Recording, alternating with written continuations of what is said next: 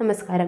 കേരളത്തിലെ യുവതലമുറ വിദേശത്തേക്ക് പോകുന്നത് സാമൂഹിക പ്രശ്നമെന്ന് നിയമസഭയിൽ അടിയന്തര പ്രമേയത്തിന് അവതരണാനുമതി തേടി മാത്യു കൊഴുനാടൻ ദേശ സർവകലാശാലകളിലേക്കുള്ള വിദ്യാർത്ഥികളുടെ കുടിയേറ്റം സഭ നിർത്തിവച്ച് ചർച്ച ചെയ്യണമെന്ന് ആവശ്യപ്പെട്ടിരിക്കുകയാണ്.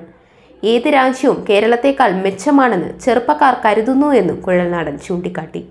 നമ്മുടെ ചെറുപ്പക്കാരെ കൂടെ നിർത്താൻ കഴിയുന്ന ഒരു അന്തരീക്ഷം സംസ്ഥാനത്ത് ഉണ്ടാക്കാൻ കഴിഞ്ഞില്ല എങ്കിൽ എന്താണ് നമ്മൾ നേടാൻ പോകുന്നതെന്നും കുഴൽനാടൻ ചോദിച്ചു. ലോകം മുഴുവൻ നേടിയാലും നിന്റെ ആത്മാവിനെ നഷ്ടപ്പെടുത്തിയാൽ എന്ത് പ്രയോജനമെന്ന് ബൈബിളിൽ ഒരു വാചകമുണ്ട്. വാർദ്ധക്യത്തിൽ മക്കളുടെ സാന്നിധ്യമില്ലാത്ത മാതാപിതാക്കൾക്കാണ് അതിന്റെ വിഷമം മനസ്സിലാകൂ. വേണമെങ്കിൽ എല്ലാം ഭ്രാന്തമാണെന്ന് നമുക്ക് പറയാൻ സാധിക്കും. വലിയ അപകടമാണ് സംസ്ഥാനം അഭിമുഖീകരിക്കാൻ പോകുന്നത്. ചെറുപ്പക്കാർ നാട്ടിൽ നിൽക്കാതെ പോയാൽ സംരംഭകത്വത്തിനും വിദഗ്ധ തൊഴിലിനും ബിസിനസ്സിനും ആളില്ലാത്ത വൃദ്ധസദനമായി കേരളം മാറും. ഈ വിഷയം സഭ ചർച്ച ചെയ്യണമെന്നും മാത്യു കുഴൽനാടൻ ആവശ്യപ്പെട്ടു. അതേസമയം മാത്യു കുഴൽനാടനും മറുപടി പറഞ്ഞുകൊണ്ട് ഉന്നത വിദ്യാഭ്യാസ മന്ത്രി ആർ ബിന്ദു രംഗത്തെത്തി. ഇന്ത്യയിലെ സംസ്ഥാനങ്ങളിൽ താരതമ്യേന കുറഞ്ഞ വിദ്യാർത്ഥി കുടിയേറ്റം കേരളത്തിലാണ്.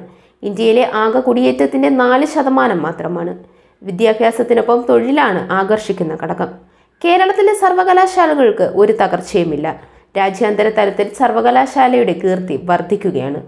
വിദ്യാർത്ഥികൾ വിദേശത്തേക്ക് കുടിയേറുന്നത് കുറ്റമല്ല എന്നും മഹാത്മാഗാന്ധി വരെ പുറത്താണ് പഠിച്ചതെന്നും മന്ത്രി ആർ. ബിന്ദു പറഞ്ഞു. ഇവിടെ നിന്ന് എങ്ങനെയെങ്കിലും കടന്നു പോകണം എന്ന് ചിന്തിക്കുന്നവരാണ് പുതിയ തലമുറ. പുതിയ തലമുറ ആഗ്രഹിക്കുന്ന ഒരു ജീവിതം അവർക്ക് നൽകാനാകുന്നില്ല.